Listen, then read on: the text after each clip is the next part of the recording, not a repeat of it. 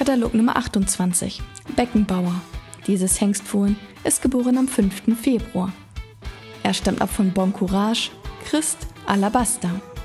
Aus der Zucht und dem Besitz von Heike Cordes aus Sulingen.